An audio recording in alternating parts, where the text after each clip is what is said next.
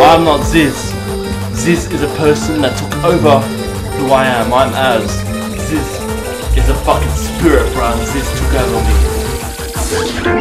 me.